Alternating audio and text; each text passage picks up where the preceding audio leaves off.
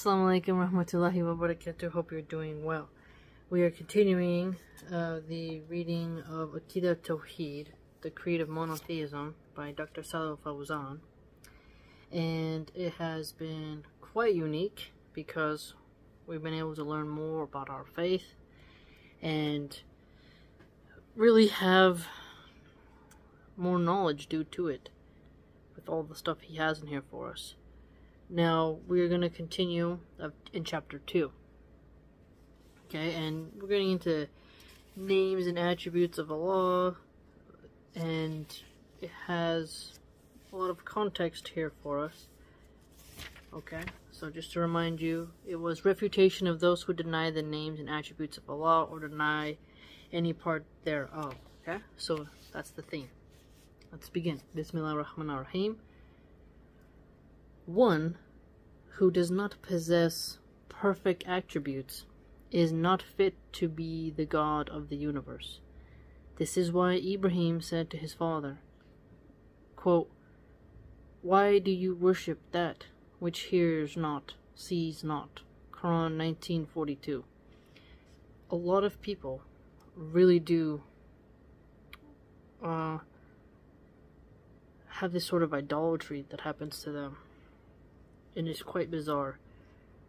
There are some faiths that think that there are cows who have gods inside of them and that their poo is spiritual. You should go ahead and type that into Google and you'll see videos that hasn't been suppressed where a woman is talking saying that there are gods inside of a cow. So, believe you me, there are people who really think the most weirdest stuff. Also, he, the Most High, said, while refuting those who worship the calf, quote, Did they not see that it could neither speak to them nor guide them to the way? Quran 7 148. When people bring animals, or their idols have animal stuff in it, even though symbolically the animal can represent something, I always found that to be super creepy and degrading because the animal is not like the human. Even if it's even if the symbolism denotes a trait or attribute, it's bizarre. The affirmation of attributes is a sign of perfection, while its negation is a defect. One who possesses no attributes is either non-existent or defective, and Allah is free of such. There is no evidence for the interpretation of these attributes away from their apparent meanings. So here, this is the difficult part for me. Apparent meanings, but there's wisdom that's extracted from the sentence. Sometimes you can take the beauty out of stuff when you just take it very literal. So such interpretations are invalid. Also resigning the meaning of there thereof to Allah necessitates that Allah addressed us in the Quran with that which we understood, not its meaning, despite his ordering us to invoke him by his names. How can we invoke him? With what we understand not. He also commanded us to ponder over all his verses. So how do we ponder over what cannot be understood? It becomes clear from this that the names and attributes of Allah must be affirmed in a way that befits Allah, negating any similarity in its real essence with those of creatures, as Allah the Most High said, quote, There is nothing like unto him, and he is the all-hearer, all-seer. Quran 42:11. So some people they'll talk about other pagan religions and say, well, people created animal-like uh, creatures because they had to separate that level of, hey, this doesn't look like you, so you have to uh, try to connect with it. Whereas others made God, or the gods look like humans. And then people would think, oh, you know, we are gods and the gods look like us and then they put themselves on the same level as God, right? So people who create hawk-headed gods and stuff like that, they'll be like, well, we had to change it up and make the paganistic gods in trees and animals and, and cow poo and mushrooms and all this stuff all different because we had to separate it from man so that man did not think that he was God or could become God, that the gods were different. Right? So they have all these strange ways in which they do that. And little, like if you read folklore and myths and all those strangeness, you see this attempt to separate humans from their gods. And other attempts to make humans like gods, or on the same level as their gods, and give their gods uh, human-like attributes, such as, you know, Zeus R-wording and being a, a playboy, right? Very unethical. Mars, the god of war, for the Greeks and Romans, the Macedonians, right? Today, we can sit back and be like, look at the wisdom of Islam. There's nothing like unto him. He's the all-hearer, the all-seer. So, Allah subhanahu wa ta'ala isn't a guy in a cloud. It's not something our minds can conceptualize and we don't make an idol, we don't make a painting. Unfortunately, Catholics hired painters to paint God as a bearded guy, reducing God down, reducing him to the human form and putting human bodies, as fragile as they are, on a pedestal right? Putting the human mind is a great thing that Allah gave us, but they put it on the same level as God. How? By contending that a God bleeds, God cries, a God uh, has these human emotions and operates within a human body in the human realm. You know, it's fascinating when you examine how some say Jesus is God. Why would God allow himself to be humiliated and nailed to a cross? Why would a God bleed? Okay, even in the Greek myths, there, the, why, why would the, why would the crying and stuff like that? That, that even the Greek gods, they were stronger than the humans, but Jesus is, according to them, God. But the Jews, his own, so God's own creation was able to, to chain him in a way, to overpower him. You in in the Greek myths, you couldn't chain Zeus. First Muslims, you can't chain Allah subhanahu wa ta'ala. Now Zeus and the Titans and them, some of them, like he helped to overrun those Titans and they got locked up and and put into like this uh, prison and in the eternal void. Whatever but that's bizarreness. Now the story of Gilgamesh his dad made a mistake and chopped his head off and he got an elephant head.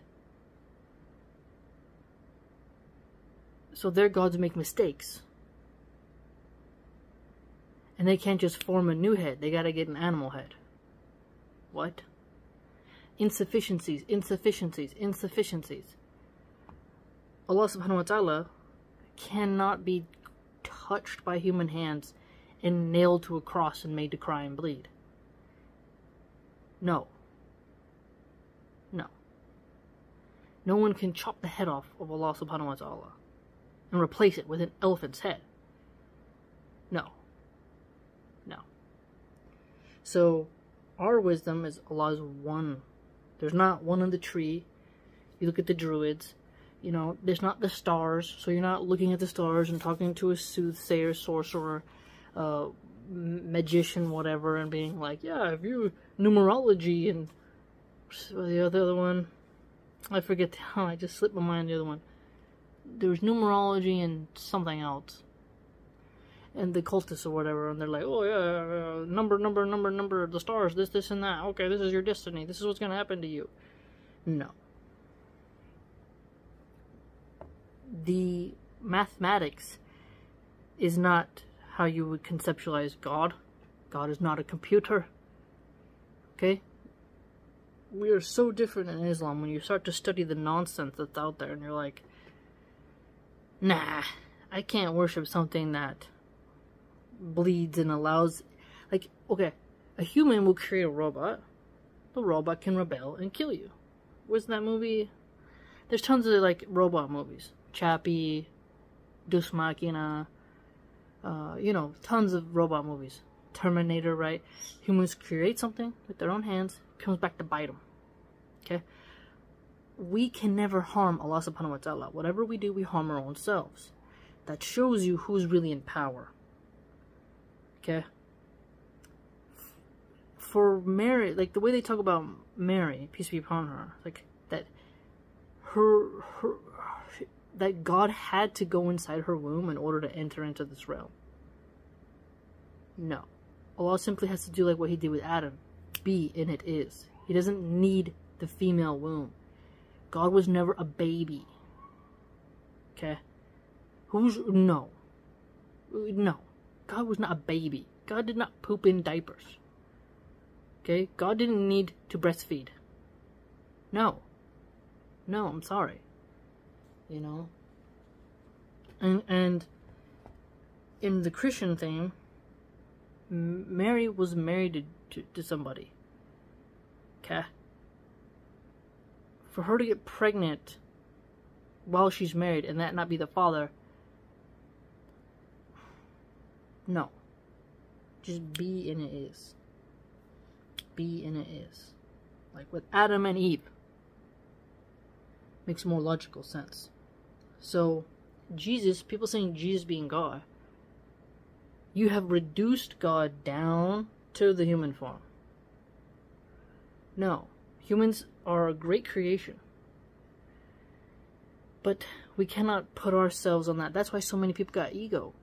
People are so strange because they think that they are God. They can, they, they take free will to a to a realm where they think they can manifest their own destiny and command and control evil. And they have no reverence in their heart. They have no humbleness. They don't seek redemption or forgiveness or atonement because it's hard for them because they have compared God to them and them to God. Okay? No, we don't do that. So when we look at this name and attributes that he's discussing, and Quran 42.11. It's very important.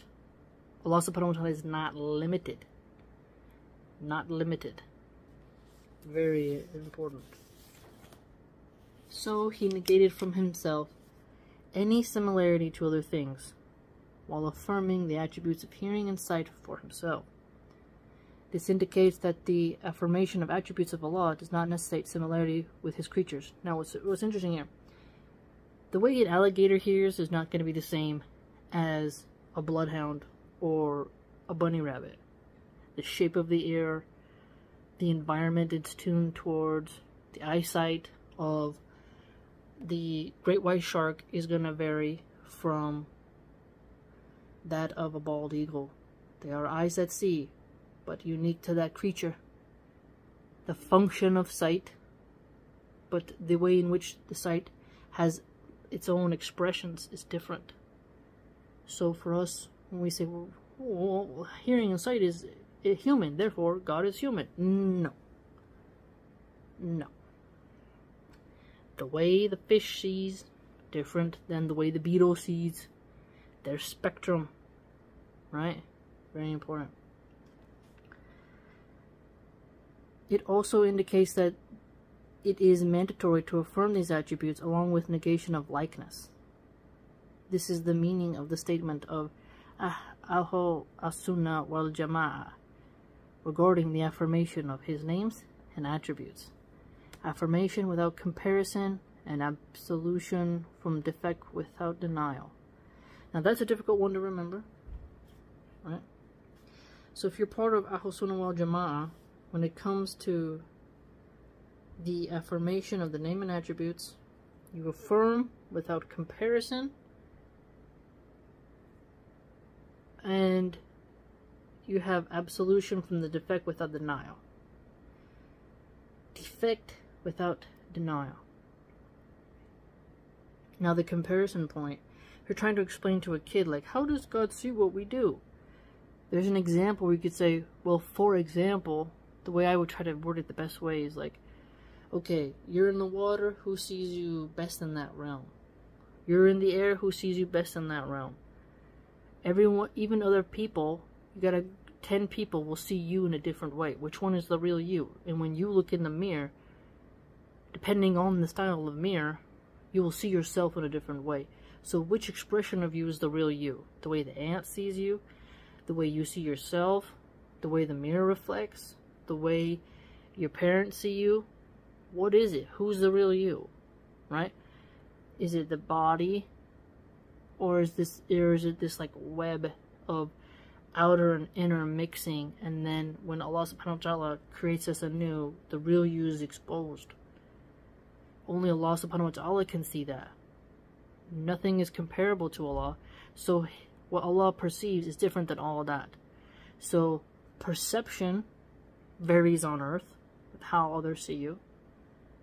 So it follows that how Allah subhanahu wa ta'ala will see you is going to be in a way that no one else can see. Right? So all seeing is going to see you in all those different capacities as well as the inner and outer. No one can see your inner. They can glimpse it through your body language, the way in which your tongue reveals things, as in speech, and your actions, what your hands do, where your feet take you, right? Where you actually allow yourself to be, because actions speak louder than words, and actions reveal who you are, regardless of the empty platitudes and cliches that you spout. So,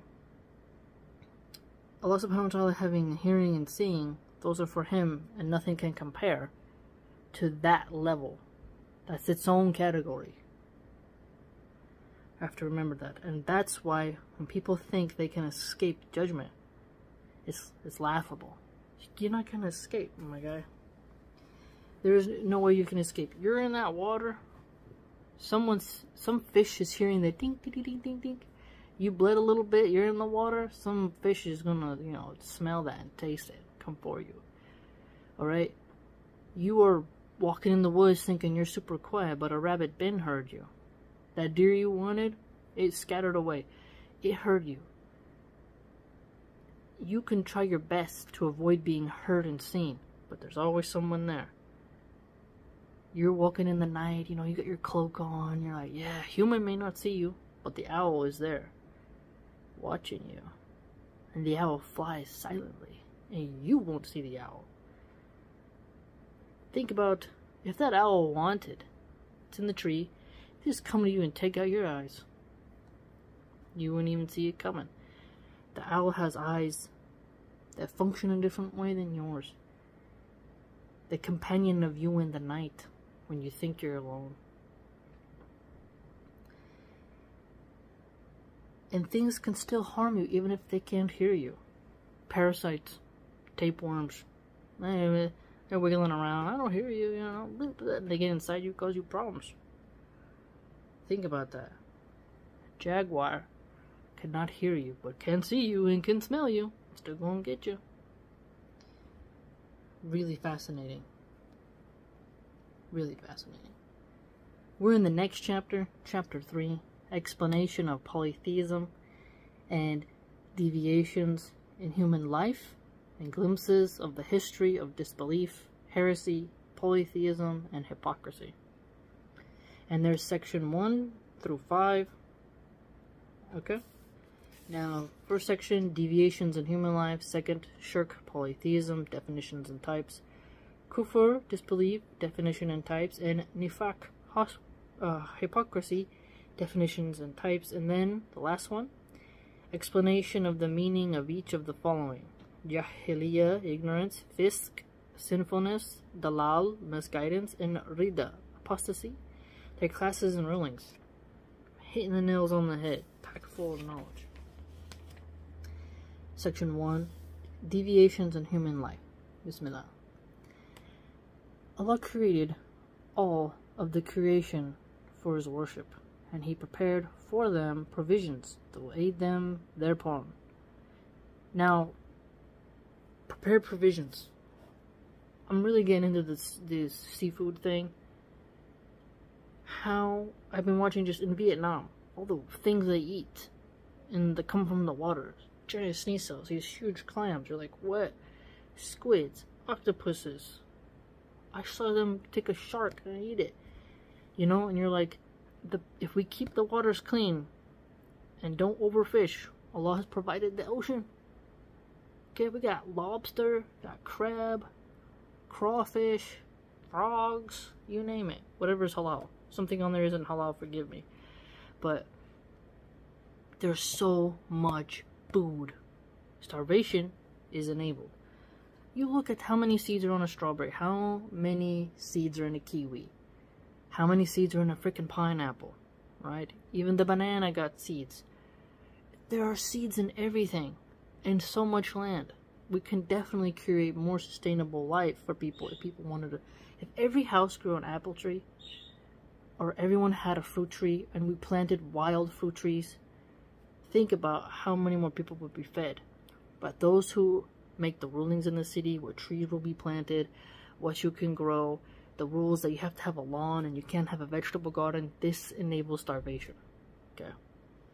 Zoning laws, all of that. It enables it. Allah has given us plenty of provision on this earth. It's just humans who lack the tenacity and the desire to create it. Think about it. Really think about it. It's us in this modern era who've forgotten about having your own personal farm and living in a place where you have space in a yard. In apartment buildings, you can't grow food like that. But you could create vertical gardens. There's so much you could do. But the people who are the architects, who decide what beauty is and what you can do, they don't want you to have it. They limit how many pots of flowers you can have. Rules upon rules upon rules that are a nanny state type of governance. Now there's a ayah here for us. He, the Most High, said, quote, And I, Allah, created not the jinns and mankind, except they should worship me alone. I seek not any provision from them, i.e. provision from themselves or for my creatures. Nor do I ask that they should feed me, i.e. feed themselves or my creatures. Verily Allah is all provider, owner of power, the most strong. Quran 51, 56 through 58. The soul, by its nature, if it is left undisturbed, recognizes the sole right of Allah to be worshipped, and loves Allah. It worships Him, not associating any partner with Him. However, it, the soul, is polluted and deviated from this by what the devils amongst mankind and the jinns embellish in it, with what they inspire to one another of deception. Now, one thing I think that couldn't be part of that, people who get high and then they they they, they spout out their uh, wisdom rambling findings right? And then people see this person who's high on mushrooms or does very bizarre rituals and they think like that that that guy gets it. Like oh he must have some secret knowledge right but the sober mind who's endured pain and hasn't coped with intoxicants and who has stayed upon worshipping Allah subhanahu wa ta'ala, some will be like, oh, that they, they seem so ordinary and bland. But someone who's smoking weed, taking psychedelic mushrooms, doing DMT, uh, is, is chugging a little bit of alcohol, the people will be like, oh, you know, that guy's schizophrenic dreams, they got some wisdom in there because it sounds so creative. No you gotta watch out for the ramblings. Watch out for the ramblings of those who have gone off the deep end into a schizophrenic realm of delusion. Tawheed is ingrained in the heart, and polytheism is a foreign intruder. Allah the Most High said, So said you, O Muhammad, peace be upon you, your face towards the religion of pure Islamic monotheism, Hanifa. Worship none but Allah alone, Allah's fitra, i.e., Allah's Islam, etc., monotheism, with which He has created mankind. No change let there be in the halaq ilah, i.e., the religion of Allah, Islamic monotheism. Quran 30 31. Now, when they quote the Quran, it would be nice if they kept the brackets out because it's so hard to read. I wish it would just be the ayah and then do a couple footnotes to the side. He, peace be upon him, said, Every child is born upon the fitra, pure monotheism. It is his parents who make it a Jew, Christian, or Magian. And that is reported in Abu Bukhari and Muslim by Abu Huraira. May Allah be pleased with him. If you, you know, trying to explain the Trinity to a kid, you're like, uh. But if you say Allah is one, it's like, ah. Boom, it's a more direct line. You gotta go through the Kabbalistic charts and rabbinical loopholes, you know, it's not the same. The more I study theology, the more I can clearly see that Islam is my path. Uh, so it is funny when people get mad at me for studying other religions because they think the other religions will corrupt me. Inshallah, they won't. But it just makes my faith more stronger because I get to see the the treetops through the fog. The basis of the progeny of Adam is monotheism and the religion of Islam. Adam, peace be upon him, and those who came after him of his progeny for several centuries were upon Islam. Allah the Most High said, Mankind were one community, and Allah sent prophets with glad tidings and warnings. Quran 2, 213. The first time polytheism and deviation from the correct doctrine occurred was with the people of Noah. He, peace be upon him, was thus the first messenger of Allah to mankind after the occurrence of polytheism. That's a good thing to remind ourselves. Like, it was must have been so bad that the flood had to have happened, and Noah was the first messenger. Adam lived in the time where there wasn't any shirk. Think about that. Quote, Verily we have inspired you, O Muhammad, peace be upon you, as we inspired Noah and the prophets after him. Quran 4 163. Ibn Abbas said, Between Adam and Noah there were ten generations, all were upon Islam. Ibn Qayyim said, This opinion is the correct one, because the recitation of Ubay bin Ka'b, i.e., of the verse in Al Baqarah is they differed and Allah sent prophets. MashaAllah. This recitation is supported by the statement of Allah in Surah Yunus. Quote, Mankind were but one community, i.e., on one religion, Islamic monotheism. Then they differed later. Quran 10 19. So again, Adam comes. There's still problems like sin, because, you know, they, they were taken out of paradise and whatnot. They made a mistake. But they weren't, like, worshipping trees. and I think giving mountains holy names and, you know, looking at the volcano as a source of power or, you know, rubbing cow poo on themselves, you know. Or, you know, eating mushrooms and then following reindeer around as they're high. Very different. he, peace be upon him, intended to say. Wait, I can't tell if that's the Allah subhanahu wa ta'ala symbol or the Prophet symbol. So, ah, I think it's Allah subhanahu It's different. He, Allah subhanahu wa ta'ala intended to say the sending of prophets Don't, where is it? He's talking about one of the hadith narrators. I don't know that little symbol right there. He intended to say that the sending of prophets was as a result of their differing from what they were previously upon of the true religion. Similarly, the Arabs were upon the religion of Ibrahim, may Allah be pleased with him, till Amru bin Luhay al-Khazai came and changed the religion of Ibrahim, establishing idols in the Arab lands, particularly in the Hijaz, and these were worshipped besides Allah. So polytheism spread through the holy city and its neighboring cities, till Allah raised the Prophet, peace be upon him, the last of all prophets.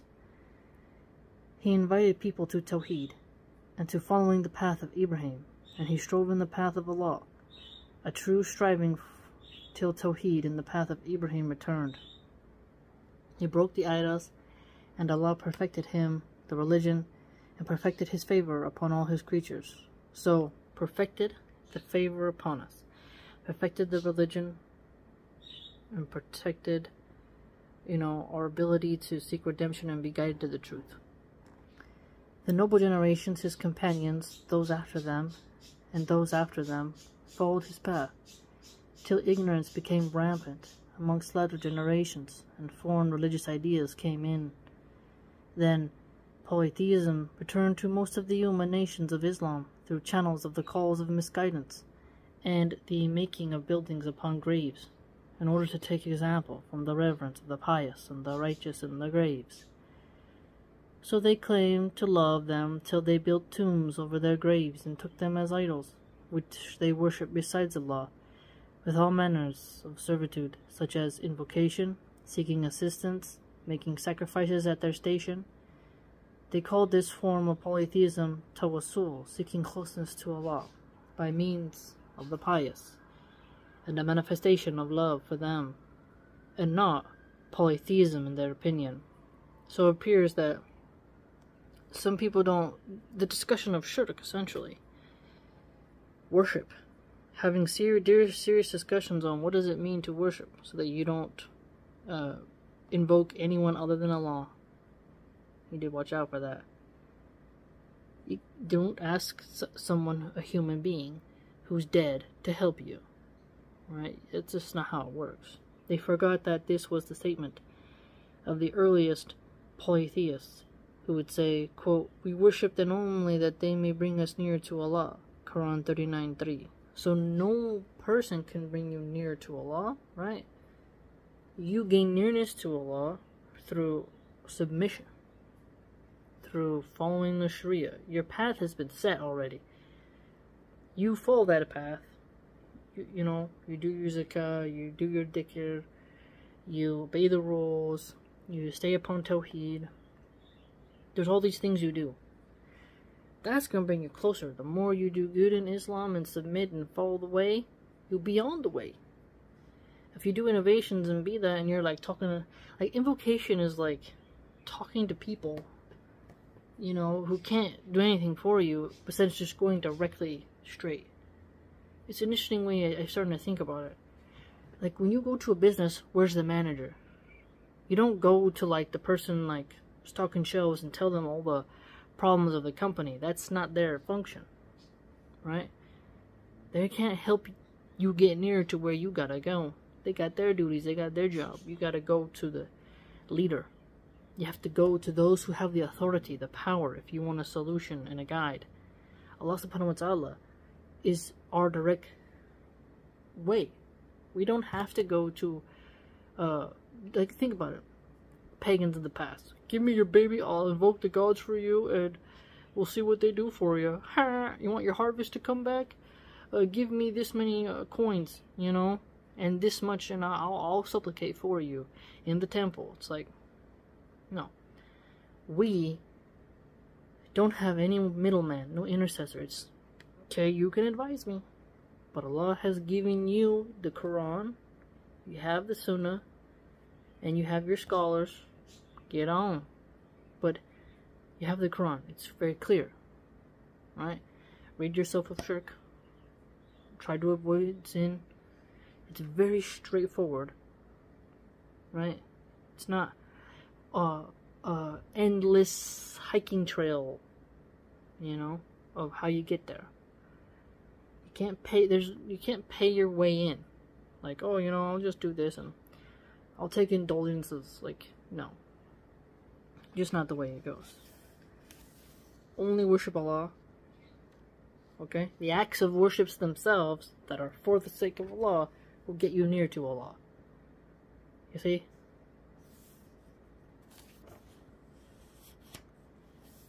Despite this form of polytheism into which most of mankind have fallen, past and present, most of them still believe in Tawheed or Rububiyyah, unity of worship.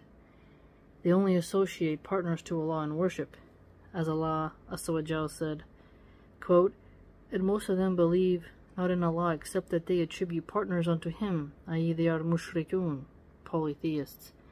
Quran 12, 106. None has ever contested the existence of our Rabb, the Lord, except a small, negligible number of men, such as Fir'aun, Pharaoh, the modern-day freethinkers, and the communists. Their denial is only out of arrogance, as their inner selves affirm it. When some people, like what I liked about him mentioning here, the communists, they're atheistic in nature, party philosophy, right? So, when people are like, the Muslims are communistic, you're like, no, man. Just stop it. Just stop it. So the communists are punishing the Muslims because they are creating a parallel form of, you know, culture. They put Allah first, not the supreme leader. Okay. The Sharia is not a communistic system. Allah the Most High said, And they belied them those ayat proofs, evidences, verses, signs, etc., wrongfully and arrogantly, though their own selves were convinced thereof, i.e., those ayat are from Allah, and Musa Moses is the messenger of Allah in truth. But they disliked to obey Musa Moses and hated to believe in his message of monotheism. Quran 27:14. Moses called to Tawheed. When they say the the prophets uh, were Muslims, you have to really examine further. They weren't telling you to invoke the god of the tree, the god of the river, the ghost of the hallway. Wasn't happening. Also, their intellects recognize that for every creature there must be a creator, and anything in existence must have an originator. That the intricate and precise order of the universe must necessitate the existence of a wise controller, one able and knowledgeable. Whoever denies this has either lost his sense of reasoning or is an arrogant one, who has shut his intellect in and made a fool of himself, so his opinion is of no value. Atheists really think that it's more glorious to to think our ancestors were some naked looking ape creatures who didn't wipe their bums and were extremely ugly. This is quite horrendous. Genetic mutations, different shapes of heads, jawbones, all that doesn't mean to some people being short because of malnutrition and some people being taller because they got nice good meat. And some people being deformed because they inbred. That doesn't mean to me that evolution is real. There's a big discussion in and of itself. Big discussion. But that's another story for another time. What was your favorite part? Let me know so educational, this book. I've truly enjoyed it. Dr. Salah is a very smart man. May Allah reward him with good. I hope to read more and more of his stuff, and may Allah reward the people who are translating his stuff. That's very important. Very important. If you'd like to join my blog, it's www.subscribestar.com slash milahanarchive. Hope to see you there.